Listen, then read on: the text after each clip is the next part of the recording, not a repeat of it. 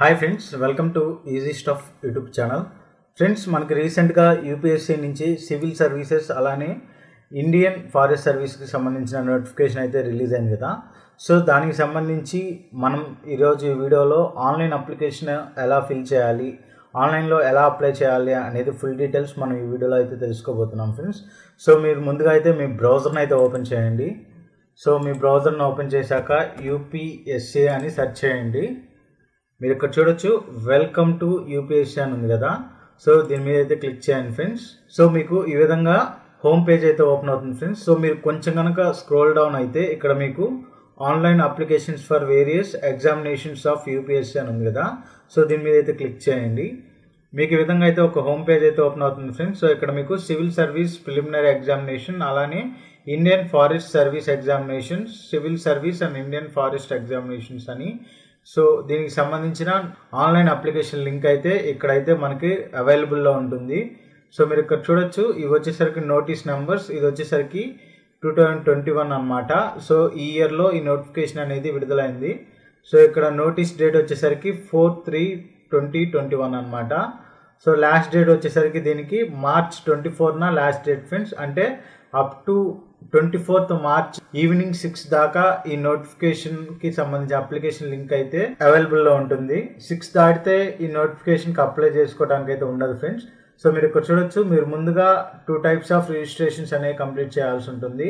First వచ్చేసరికి part one registration అనేది complete చేయాలి అండ్ నెక్స్ట్ వచ్చేసరికి పార్ట్ టూ రిజిస్ట్రేషన్ అనమాట సో నేను ఇప్పుడు పార్ట్ వన్ రిజిస్ట్రేషన్ అయితే క్లిక్ చేసి మీరు ఎలా ఫిల్ చేయాలి ఫుల్ డీటెయిల్గా అయితే నేనైతే ఎక్స్ప్లెయిన్ చేస్తాను ఫ్రెండ్స్. సో ఇప్పుడు మీరు ముందుగా click here for part one అని కదా. సో దీని మీద అయితే క్లిక్ చేయండి. సో మీకు కొన్ని ఇన్స్ట్రక్షన్స్ అయితే మీకు ఇక్కడ ఉంటాయి ఫ్రెండ్స్ సో మీరు వీటిని కేర్ఫుల్గా అయితే రీడ్ చేయండి. అండ్ మీరు స్క్రోల్ డౌన్ చూసినట్లయితే కింద ఒక టర్మ్స్ అండ్ కండిషన్స్ లాగా ఇక్కడ మీరు ఎస్ అని ఇవ్వాల్సి ఉంటుంది. నేను ఇక్కడ ఎస్ అని అయితే ఇస్తున్నాను. అలానే ఇక్కడ మీరు చూసుకున్నట్లయితే ఇక్కడ మీ పర్సనల్ డీటెయిల్స్ అనేవి ఫిల్ చేయాల్సి ఉంటుంది. పార్ట్ వన్ రిజిస్ట్రేషన్లో మీరు ఇక్కడ చూడొచ్చు. పార్ట్ వన్ వచ్చేసరికి స్టార్టింగ్లో మీ నేమ్ అనమాట మీ టెన్త్ క్లాస్ మార్క్ లిస్ట్ మీద ఎలా ఉందో మీ నేమ్ అలా ఇవ్వాల్సి ఉంటుంది. అలానే మీ జెండర్ అనేది ఇవ్వాల్సి ఉంటుంది. అలానే మీ డేట్ ఆఫ్ బర్త్ అలానే మీ ఫాదర్ నేమ్ అయితే ఇవ్వాల్సి ఉంటుంది. అలానే మీ మదర్ నేమ్ అలానే మీ నేషనాలిటీ ఆల్రెడీ ఉంటుంది ఇండియన్ అని. మీరు మ్యారీడా అన్మ్యారీడా అనేది ఇక్కడ ఇవ్వాల్సి ఉంటుంది. మీకు ఏమైనా డిజేబిలిటీ ఉంటే ఇక్కడ ఎస్ అని పెట్టుకోండి లేకపోతే నో అని వదిలే సో ఇక్కడ కమ్యూనిటీ దగ్గర మీరు సెలెక్ట్ చేసుకోవాల్సి ఉంటుంది. ఫ్రెండ్స్ ఏదర్ ఈడబ్ల్యూఎస్ అంటే ముస్లిం కేటగిరీకి సంబంధించింది జనరల్ లేదా ఓబీసీ ఎస్సీ ఎస్టీ అని సెలెక్ట్ చేసుకోవాల్సి ఉంటుంది. సో నేను ఇక్కడ ఓబీసీ అని అయితే సెలెక్ట్ చేస్తున్నాను. సో ఇలా ఓబీసీ సెలెక్ట్ చేసుకున్నాక మీకు ఇక్కడ do you belong to creamy layer layer అని అడుగుతుంది కదా. సో ఇక్కడ మీరు నో అని సెలెక్ట్ చేసుకోవాలి. అంటే క్రీమీ లేయర్ అంటే మీ ఇన్కమ్ వచ్చేసరికి ఎయిట్ ల్యాక్స్ కన్నా ఎక్కువ ఉంటే మీరు క్రీమీ లేయర్కి ఎస్ అని ఇవ్వాలి. పర్ ఇయర్ మీ ఇన్కమ్ వచ్చేసరికి ఎయిట్ ల్యాక్స్ కన్నా తక్కువ ఉంటే eight lakhs or eight lakhs కన్నా తక్కువ ఉంటే మీరు ఇక్కడ నో అని పెట్టి ఇక్కడ మీ క్యాస్ట్ సర్టిఫికేట్కి సంబంధించిన సీరియల్ నెంబర్ అనేది మీరు ఇక్కడ ఇవ్వాల్సి ఉంటుంది. అలానే ఇక్కడ క్యాస్ట్ సర్టిఫికేట్ అథారిటీ నేమ్ అంటే తహసీల్దార్ ఉంటారు కదా ఆ నేమ్ అయితే ఇక్కడ ఇవ్వాల్సి ఉంటుంది. అలానే మీ క్యాస్ట్ సర్టిఫికేట్ ఎప్పుడు ఇష్యూ చేశారు అనేది మీరు ఇక్కడ ఎంటర్ అయితే చేయాల్సి ఉంటుంది. సో ఇది ఫ్రెండ్స్ అండ్ నెక్స్ట్ వచ్చేసరికి మీరు మైనారిటీనా అంటే మీరు ఏదైనా మైనారిటీ ఆర్ ఎల్స్ షెడ్యూల్డ్ క్యాస్ట్కి సంబంధించిన వాళ్ళని అడుగుతున్నారు. ఇక్కడ సింపుల్గా ఎస్ అయితే ఎస్ ఇవ్వండి లేకపోతే నో ఇవ్వండి. సో నేను ఇక్కడ నో అయితే సెలెక్ట్ చేస్తున్నాను. అలానే ఇక్కడ మీ ఎడ్యుకేషన్ క్వాలిఫికేషన్స్ అయితే అడుగుతుంది అడుగుతుంది ఫ్రెండ్స్ సో ఇక్కడ మీరు already pass degree or equivalent examination అంటే మీ డిగ్రీ అనేది కంప్లీట్ అయితే ఇది సెలెక్ట్ చేసుకోవాలి. లేదు నేను ఫైనల్ ఇయర్ చదువుతున్నా అనుకుంటే appeared or appearing at the degree or equivalent examination అయితే సెలెక్ట్ చేసుకోవాల్సి ఉంటుంది. నా డిగ్రీ అయితే కంప్లీట్ అయిపోయింది ఫ్రెండ్స్ సో నేను ఇక్కడ ఆల్రెడీ పాస్ అండ్ మీద సెలెక్ట్ చేసుకున్నాను. అలానే select your degree subject in graduation అని కదా. ఇది వచ్చేసరికి మీరు ఏ విభాగంలో డిగ్రీ అనేది చేశారో సో దాన్ని సెలెక్ట్ చేసుకోవాల్సి ఉంటుంది ఫ్రెండ్స్ సో నేను డిగ్రీ ఇన్ ఇంజనీరింగ్ అనేది సెలెక్ట్ చేసుకుంటున్నాను. అలానే for which examination you like to be considered for which examination do you want to appear అని కదా. సో ఇక్కడ మీరు సెలెక్ట్ చేసుకోవాల్సి ఉంటుంది మీరు ఏ ఎగ్జామ్ రాయాలనుకుంటున్నారో. సో ఇక్కడ మీరు ఓన్లీ సివిల్ సర్వీస్ రాయాలనుకుంటే సివిల్ సర్వీస్ అనేది పెట్టుకోండి. లేదా ఇండియన్ ఫారెస్ట్ సర్వీస్ సంబంధించి ఎగ్జామ్ రాయాలనుకుంటే ఓన్లీ ఇండియన్ ఫారెస్ట్ సర్వీస్కి అప్లై చేసుకోండి. లేదు నేను రెండింటికి అప్లై చేయాలనుకుంటే ఇక్కడ లాస్ట్లో మీకు civil service and Indian forest సర్వీస్కి సంబంధించిన ఒక ఆప్షన్ అయితే ఉంటుంది. దాన్ని సెలెక్ట్ చేసుకోండి. నేనైతే రెండు సెలెక్ట్ చేసుకున్నాను. ఇక్కడ మీరు civil services and Indian forest service select చేసుకోగానే ఇక్కడ మీకు పాపప్ వస్తుంది అనమాట సో ఆ పాపప్ మెసేజ్లో ఓకే అని సెలెక్ట్ చేస్తే మీకు ఇక్కడ సెలెక్ట్ అవుతుంది. అలానే ఇక్కడ మీరు మీ అడ్రస్ అనేది ఫిల్ చేయాల్సి ఉంటుంది అంటే మీ ఆధార్ కార్డులో ఏ విధంగా అయితే అడ్రస్ ఉంటుందో. సో ఆ అడ్రస్ని మీరు ఇక్కడ ఎంటర్ చేయాల్సి ఉంటుంది. ఇక్కడ మీ స్టేట్ అలానే మీ డిస్ట్రిక్ట్ అలా లేదా మీ సిటీ అలానే ఇక్కడ మీ పిన్ కోడ్ అలానే ఇక్కడ మీ ఏరియా కోడ్. అంటే మీకు ల్యాండ్లైన్ ఉంటే ఆ ల్యాండ్లైన్ అయితే ఇవ్వచ్చు. లేదు మొబైల్ నెంబర్ ఉంటే మీ మొబైల్ నెంబర్ అనేది కంపల్సరీగా ఇవ్వాలి. అలానే మీ ఈమెయిల్ అడ్రస్ అనేది ఒకటి ఇవ్వాలి. దాంతోపాటు మీ ఆల్టర్నేట్ ఈమెయిల్ అడ్రస్ కూడా ఒకటి ప్రొవైడ్ అయితే చేయాల్సి ఉంటుంది ఫ్రెండ్స్ సో ఇది ఫ్రెండ్స్ మీరు ఫస్ట్ పేజ్లో చేయాల్సి ఉంటుంది. సో నేను ఇప్పుడు నా డీటెయిల్స్ అనేవి కంప్లీట్గా ఫిల్ చేసి నేను నెక్స్ట్ పేజ్లో ఏమేమి ఉంటాయో నేను మీకు ఎక్స్ప్లెయిన్ చేస్తాను అనమాట మీరు ఇక్కడ చూడొచ్చు ఫ్రెండ్స్ సో నేను ఇప్పుడు నా డీటెయిల్స్ అయితే ఎంటర్ చేశాను. ఇప్పుడు సింపుల్గా మీరు కంటిన్యూ మీద అయితే ప్రెస్ చేయండి. మీరు ఇలా కంటిన్యూ మీద ప్రెస్ చేయగానే మీకు ఈ విధంగా క్లైమింగ్ ఏజ్ రిలాక్సేషన్ అని ఒకటి అడుగుతుంది ఫ్రెండ్స్ సో ఇక్కడ మీరు ఏజ్ రిలాక్సేషన్ కోరుకుంటుంటే ఎస్ అని ఇవ్వండి లేదు అనుకుంటే నో అని ఇవ్వండి ఫ్రెండ్స్ సో నేను ఇక్కడ నో అని అయితే ఇస్తున్నాను. సింపుల్గా కంటిన్యూ మీద అయితే ప్రెస్ చేస్తున్నాను. మీరు ఇక్కడ చూడొచ్చు ఇక్కడ మిమ్మల్ని ఒక ఫోటో ఐడెంటిటీ కార్డ్ అయితే సెలెక్ట్ చేసుకోమంటుంది. ఇక్కడ మీకు ఆధార్ కార్డ్ లేదా డ్రైవింగ్ లైసెన్స్ అలానే పాన్ కార్డ్ పాస్పోర్ట్ అలానే photo ID issued by central government ఏదైనా ఫోటో ఐడి కనుక సెంట్రల్ గవర్నమెంట్ ప్రొవైడ్ చేస్తే దాన్నైనా మీరు ఇవ్వచ్చు లేదా ఓటర్ ఐడి కూడా మీరు ఇక్కడ ఇవ్వచ్చు ఫ్రెండ్స్ సో నేను ఇక్కడ సింపుల్గా ఆధార్ కార్డ్ అయితే సెలెక్ట్ చేసుకున్నాను అలానే మీరు ఏదైతే సెలెక్ట్ చేసుకుంటారో దాని నెంబర్ని ఎంటర్ చేసి మళ్ళీ మీరు అదే నెంబర్ని ఎంటర్ చేయాల్సి ఉంటుంది. ఎందుకంటే కన్ఫర్మ్ అనేది చేయాల్సి ఉంటుంది. అండ్ దాని తర్వాత మీ గ్రాడ్యుయేషన్ అంటే మీ డిగ్రీ పర్సంటేజ్ అయితే ఇక్కడ ఇవ్వాల్సి ఉంటుంది. అలానే మీరు ఈ సివిల్ సర్వీస్ ఎగ్జామినేషన్స్కి ఎన్ని టైమ్స్ అటెంప్ట్ చేశారో ఇక్కడ ఇవ్వాల్సి ఉంటుంది. ఇక్కడ మీరు జీరో అయితే ఇవ్వండి ఫ్రెండ్స్ అలానే ఇక్కడ సెంటర్ ఫర్ సిఎస్ఎం అంటే సెంట్రల్ సర్వీస్ ఎగ్జామినేషన్స్కి మీరు సెంటర్ అయితే సెలెక్ట్ చేసుకోవాల్సి ఉంటుంది. ఇక్కడ మీకు చాలా సెంటర్లు అయితే ఉంటాయి ఫ్రెండ్స్. మన తెలుగు రాష్ట్రాలకు అయితే హైదరాబాద్ అలానే విజయవాడ అయితే ఉంది. ఇక్కడ మీరు ఈ రెండిట్లో అయితే సెలెక్ట్ చేసుకోవాల్సి ఉంటుంది. ఏదో విజయవాడ కానీ హైదరాబాద్ కానీ సివిల్ సర్వీస్ ఎగ్జామినేషన్స్కి అయితే. అలానే language medium for examination for paper one అని అడుగుతుంది. ఇక్కడ మీరు ఈ సివిల్స్ ఎగ్జామ్స్ రాయడానికి సో మీరు పేపర్ వన్ నుంచి పేపర్ ఫైవ్ దాకా మీకు వచ్చే క్వశ్చన్ పేపర్ ఏ లాంగ్వేజ్లో ఉండాలి అనేది ఇక్కడ మిమ్మల్ని అడుగుతుంది కాబట్టి సో మీకు ఏ లాంగ్వేజ్ కంఫర్టబుల్గా ఉంటే ఆ లాంగ్వేజ్ అనేది చూస్ చేసుకోండి. సో నేను ఇక్కడైతే ఇంగ్లీష్ లాంగ్వేజ్ అయితే సెలెక్ట్ చేసుకున్నాను ఫ్రెండ్స్. అలానే సెంటర్ వచ్చేసరికి నాకు దగ్గరలో విజయవాడ ఉంది కాబట్టి నేను విజయవాడ అయితే సెలెక్ట్ చేసుకుంటున్నాను. అలానే ఇక్కడ ఆప్షనల్ సబ్జెక్ట్స్ అని అడుగుతుంది. ఫ్రెండ్స్ ఇది వచ్చేసరికి మీకు ఏ సబ్జెక్ట్ మీద ఇంట్రెస్ట్ బాగా ఉందో దాన్ని అయితే సెలెక్ట్ చేసుకోండి. ఇక్కడ మనకు వచ్చేసరికి అగ్రికల్చర్ అలానే animal husbandry and veterinary science అలానే anthropology botany chemistry civil engineering అలానే కామర్స్ అలానే ఎకనామిక్స్ అలానే ఎలక్ట్రికల్ ఇంజనీరింగ్ అలానే జాగ్రఫీ కొన్ని లోకల్ లాంగ్వేజ్ సంబంధించిన లాంగ్వేజ్ లిటరేచర్ ఫ్రెండ్స్ సో మీకు దేనిలో ఎక్కువ పట్టుంది అనుకుంటే దాన్ని అయితే సెలెక్ట్ చేసుకోండి. అలా కాకుండా నాకు ఈ ఆప్షనల్ సబ్జెక్ట్ తీసుకోవడానికి దేనిలో నేను మెరిట్ కాదనుకుంటే సో దేనిలో మీరు సింపుల్గా పబ్లిక్ అడ్మినిస్ట్రేషన్ ఒకటి తీసుకోవచ్చు. సో ఇది వచ్చేసరికి చాలా సింపుల్గా ఉంటుంది ఫ్రెండ్స్ అంటే మనం డే టు డే లైఫ్లో ఏదైతే చూస్తుంటామో అంటే పబ్లిక్ అడ్మినిస్ట్రేషన్స్ అంటే ప్రెసిడెంట్ దగ్గర నుంచి అయితే వస్తుందన్నమాట. ప్రెసిడెంట్ అలానే వైస్ ప్రెసిడెంట్ అలానే వాళ్ళ వర్కింగ్ వాళ్ళు ఏమేమి చేయాల్సి ఉంటుంది అన్నీ మనకి ఈ పబ్లిక్ అడ్మినిస్ట్రేషన్లో అయితే కవర్ అవుతుందన్నమాట. లేదా పొలిటికల్ సైన్స్ అలానే ఇంటర్నేషనల్ రిలేషన్స్ అంటే మోస్ట్లీ మన జిఎస్ ఇంక్లూడే ఉంటుంది ఫ్రెండ్స్. అంటే మనం జనరల్ సబ్జెక్ట్స్ నేర్చుకుంటాం కదా. సో వాటిల్లోనే ఈ పొలిటికల్ సైన్స్ అలానే ఇంటర్నేషనల్ రిలేషన్స్కి సంబంధించిన మెయిన్గా ఉంటుంది. సో మీరు ఏ సబ్జెక్ట్ చూస్ చేసుకోవాలి తెలియకపోతే మీరు ఈ రెండిట్లో వెళ్ళొచ్చు. లేదు మీకు వీటిలో ఏదైనా సబ్జెక్ట్లో బాగా అవగాహన ఉంటే వాటిని సెలెక్ట్ చేసుకోండి ఫ్రెండ్స్. సో నాకు అంత అవగాహన లేదు కాబట్టి నేను సింపుల్గా పబ్లిక్ అడ్మినిస్ట్రేషన్ అయితే సెలెక్ట్ చేసుకున్నాను. ఎందుకంటే ఇది చాలా జనరల్గా ఉంటాయి ఫ్రెండ్స్ క్వశ్చన్స్ సో మనం రాయటానికి కూడా ఓన్గా కూడా ప్రిపేర్ అయ్యి సో దీని గురించి ఎక్కువ ఇన్ఫర్మేషన్ అనేది గ్యాదర్ చేసుకోవచ్చు అనమాట సో నేను అందుకని పబ్లిక్ అడ్మినిస్ట్రేషన్ అనేది సెలెక్ట్ చేసుకున్నాను. అలానే ఇక్కడ language medium of optional subject అని అడుగుతుంది. సో ఈ ఆప్షనల్ సబ్జెక్ట్లో వచ్చేసరికి మనకి టూ పేపర్స్ అయితే ఉంటాయన్నమాట. పేపర్ సిక్స్ అలానే పేపర్ టూ. సో ఈ రెండు పేపర్లు మీరు ఏదైతే ఆప్షనల్ సబ్జెక్ట్ చూస్ చేసుకుంటారో దానికి సంబంధించినవే ఉంటాయి. సో నేను ఇక్కడ దీనికి ఇంగ్లీష్ లాంగ్వేజ్ అయితే సెలెక్ట్ చేసుకున్నాను. అలానే మిమ్మల్ని ఇక్కడ do you hail from Arunachal Pradesh Manipur Meghalaya Mizoram Nagaland Sikkim అని అడుగుతుంది. సో మీరు వీటికి చెందిన వారు అని అడుగుతుంది ఫ్రెండ్స్. సో మనం ఈ రాష్ట్రాలకి చెందిన వాళ్ళం కాదు కాబట్టి సింపుల్గా నో అయితే సెలెక్ట్ చేసుకోండి. సో ఇలా సెలెక్ట్ చేసుకుంటే మిమ్మల్ని పేపర్ ఏ కింద మిమ్మల్ని ఒక లాంగ్వేజ్ సబ్జెక్ట్ని సెలెక్ట్ చేసుకోమంటుంది. సో ఇక్కడ పేపర్ ఏ అంటే మీరు ఏదైనా నేటివ్ లాంగ్వేజ్ ఏదైతే ఉంటుందో దాన్ని సెలెక్ట్ చేసుకోవాల్సి ఉంటుంది. నాది వచ్చేసరికి తెలుగు కాబట్టి నేను తెలుగు అని సెలెక్ట్ చేసుకున్నాను ఫ్రెండ్స్ సో మీకు ఈ పేపర్ ఏలో ఏముంటుందంటే కంప్లీట్ తెలుగు సబ్జెక్ట్ మీద మీకు పేపర్ ఏ అయితే ఉండబోతుంది ఫ్రెండ్స్ సో మీరు దాన్ని బట్టి మీరు ఇక్కడ లాంగ్వేజ్ అయితే సెలెక్ట్ చేసుకోండి.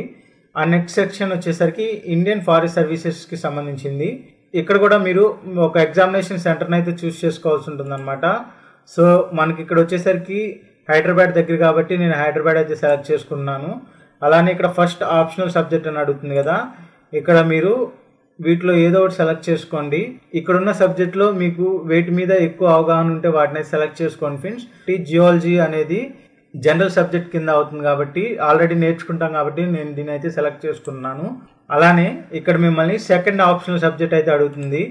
ఇక్కడ నేను సింపుల్గా మ్యాథ్స్ అయితే చూస్ చేసుకున్నాను ఫ్రెండ్స్ ఎందుకంటే మ్యాథ్స్ అయితే కొంచెం ఈజీగా ఉంటుంది. లేదు మీకు ఫిజిక్స్ కానీ ఇంకేదైనా మీకు బాగా వచ్చి అనుకుంటే వాటిని అయితే సెలెక్ట్ చేసుకోండి. మ్యాథమెటిక్స్ అయితే సెలెక్ట్ చేసుకుంటున్నాను. అలానే ఇక్కడ కూడా మిమ్మల్ని నెంబర్ ఆఫ్ అటెంప్ట్స్ అయితే అడుగుతుంది. సో నేను ఇక్కడ సింపుల్గా జీరో అయితే ఇస్తున్నాను అనమాట ఫ్రెండ్స్ మీరు ఈ టూ సెక్షన్స్ చాలా జాగ్రత్తగా అయితే ఫిల్ చేసుకోవాల్సి ఉంటుంది. ఎందుకంటే మీకు ఫైనల్ మెయిన్ ఎగ్జామ్స్ కూడా దీన్ని బేస్ చేసుకునే ఉండబోతున్నాయి అనమాట సో మీరు ఫిల్ చేసేటప్పుడు ఈ టూ సెక్షన్స్ ఒకటి రెండు సార్లు ఆలోచించి సో దీన్ని ఫిల్ చేయండి ఫ్రెండ్స్ ఫ్రెండ్స్ ఇవన్నీ మీరు కేర్ఫుల్గా ఫిల్ చేశాక సింపుల్గా కంటిన్యూ మీద అయితే ప్రెస్ చేయండి. మీరు కంటిన్యూ మీద ప్రెస్ చేయగానే ఇక్కడ మిమ్మల్ని డీటెయిల్స్ చెక్ చేసుకోవడానికి ఒక ప్రివ్యూ అయితే వస్తుంది ఫ్రెండ్స్ సో దాన్ని మీరు కేర్ఫుల్గా అయితే చూసుకొని ఇక్కడ మీ డీటెయిల్స్ అనేవి కేర్ఫుల్గా చెక్ చేసుకొని ఇక్కడ మీరు ఒక క్యాప్చా అనేది ఎంటర్ చేసి మీరు ఐ అగ్రీ మీద అయితే ప్రెస్ చేయాల్సి ఉంటుంది ఫ్రెండ్స్ సో నేను ఇక్కడ క్యాప్చాని అయితే ఎంటర్ చేస్తున్నాను. సో ఇక్కడ క్యాప్చా మీద ఎంటర్ చేసి సింపుల్గా ఐ అగ్రీ మీద అయితే ప్రెస్ చేస్తున్నాను ఫ్రెండ్స్ సో మీరు ఇక్కడ చూడొచ్చు ఫ్రెండ్స్ వన్స్ మీరు ఈ ప్రివ్యూలో ఏమైనా తప్పు ఉంటే ఇక్కడ మీరు అప్డేట్ అండ్ ఫిక్స్ అని ఉంది కదా. సో దీని మీద క్లిక్ చేసి మీరు ఎక్కడ తప్పులు ఉంటే దాన్ని సెర్చ్ చేసుకోవచ్చు. ఓన్లీ వన్ టైమే ఉంటుంది ఫ్రెండ్స్ సో మీరు ఏదైనా సబ్మిట్ చేయకముందే మీరు దీనిలో ఎడిట్ అయితే చేసుకోవడానికి ఉంటుంది. సో ఒకసారి దీన్ని చేంజ్ చేస్తే మళ్ళీ చేంజ్ చేయడానికి అయితే ఉండదు. ముందే మీరు సబ్మిట్ చేసే ముందే అన్నీ కరెక్ట్గా ఉన్నాయా లేదా అయితే చెక్ చేసుకోండి. ప్రివ్యూ వచ్చేసరికి అన్నీ చెక్ చేసుకొని ఇక్కడ ఉన్న క్యాప్షన్ అయితే ఇక్కడ ఎంటర్ చేసి ఐ అగ్రీ మీద అయితే ప్రెస్ చేస్తున్నాను.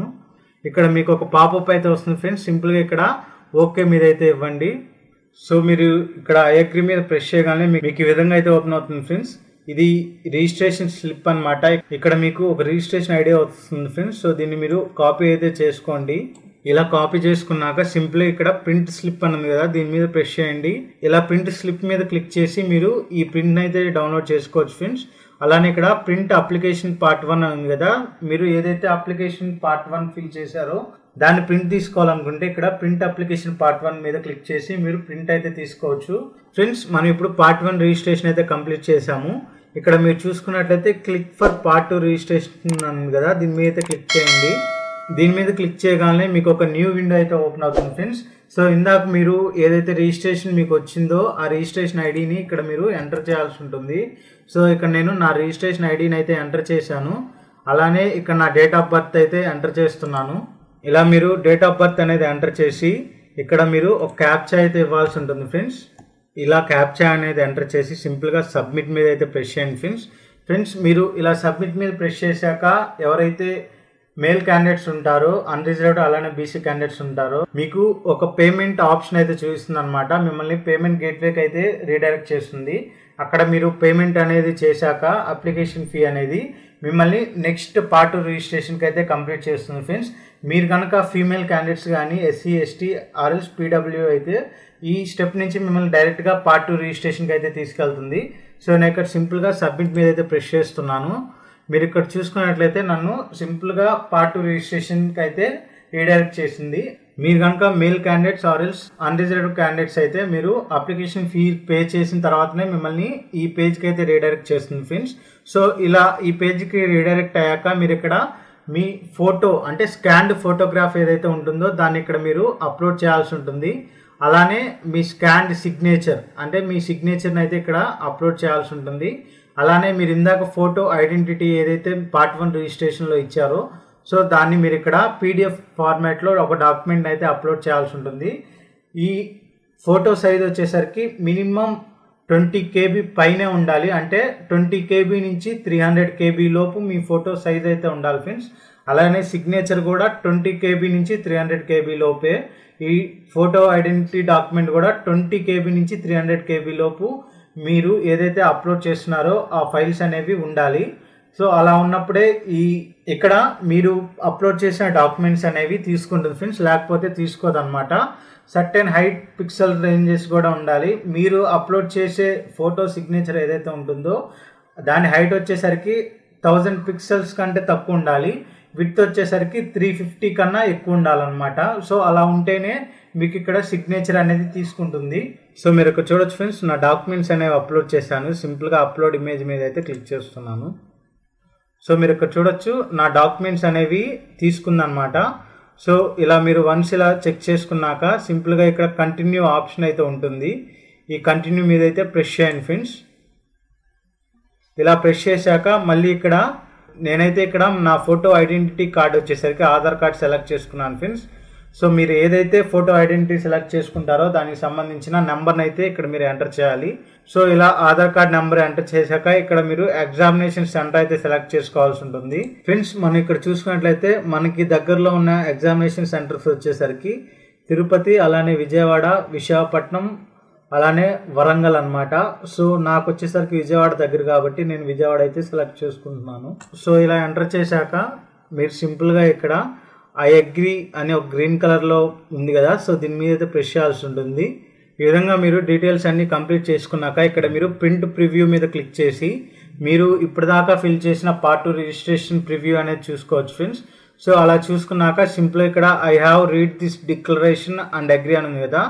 అలానే ఇక్కడ ఫైనల్ సబ్మిట్ అని ఉంది. సో దీని మీద అయితే క్లిక్ చేయండి.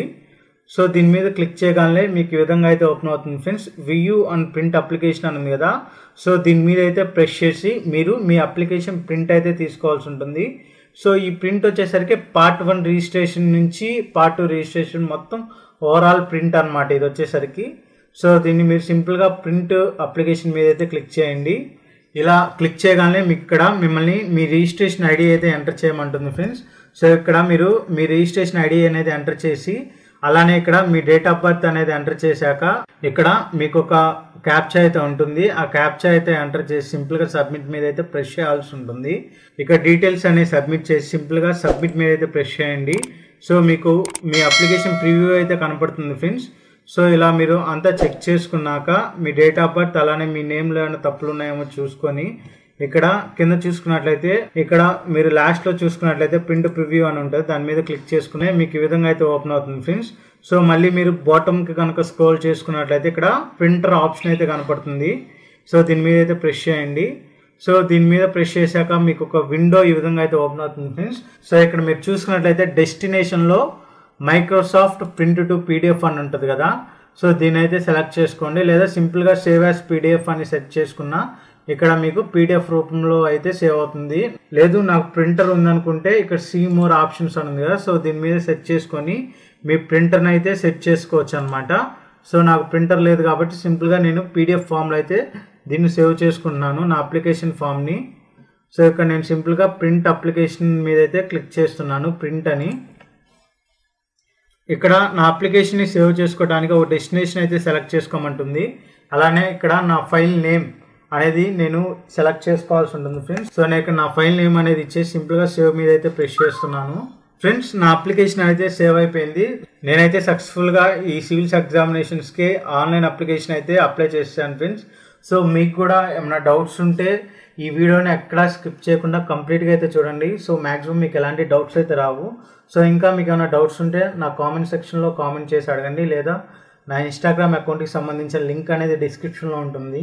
అక్కడ మీరు నన్ను ఫాలో అయ్యి కూడా సో దీనికి సంబంధించి ఏమైనా డౌట్స్ ఉంటే మీరు అడిగి తెలుసుకోవచ్చు friends so please friends so నేను చెప్పింది ఖచ్చితంగా ఫాలో అవ్వండి. సో మీకు ఎలాంటి డౌట్స్ అనేవి ఉండవు అనమాట సో ఇది ఫ్రెండ్స్ ఈరోజు మనం కంప్లీట్ వీడియో ఈ సివిల్ సర్వీస్ ఎగ్జామినేషన్స్కి ఎలా అప్లై చేసుకోవాలనేది మనం తెలుసుకున్నాం సో నెక్స్ట్ వీడియో వచ్చేసరికి ఈ సివిల్ సర్వీస్ ఎగ్జామినేషన్కి సంబంధించిన ప్యాటర్న్ అలానే ఏ బుక్స్ చదివితే ఎక్కువ అవుట్కమ్ వస్తుంది మొత్తం నేను నెక్స్ట్ వీడియోలో అయితే ఎక్స్ప్లెయిన్ చేస్తాను ఫ్రెండ్స్ ఈ వీడియో కనుక మీకు నచ్చినట్లయితే లైక్ చేయండి అలానే షేర్ చేయండి. తప్పకుండా అయితే కామెంట్ చేయండి ఫ్రెండ్స్ ఈ వీడియోని తప్పకుండా షేర్ చేయండి ఫ్రెండ్స్ ఎందుకంటే చాలామందికి యూజ్ అవుతుంది. అలానే మన ఛానల్ని సపోర్ట్ చేయండి. మన ఛానల్ని సబ్స్క్రైబ్ చేసుకోండి. అలానే పక్కన ఉన్న బెల్ ఐకాన్ని ప్రెస్ చేయండి ఫ్రెండ్స్ నేను ఏమన్నా వీడియో అప్లోడ్ చేస్తే మీకు ముందుగా నోటిఫికేషన్ రూపంలో అందుతుంది friends thank you friends have a nice day